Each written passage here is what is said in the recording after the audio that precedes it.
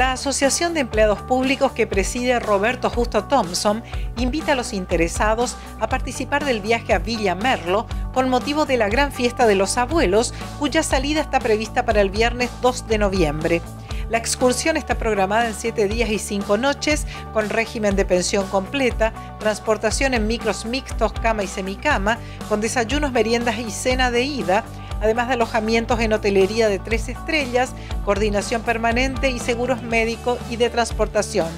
El valor del paquete incluye la participación en el baile de disfraces, la peña folclórica, un día de campo en la estancia Rancho Clima con almuerzo y la elección de la reina y el rey del abuelazo con baile de despedida y premios. Para mayores informes e inscripción, los interesados deberán dirigirse a la sede del gremio, Ñanderoga, ubicada en Curuzucuatía 1458, Barrio Progreso de esta capital.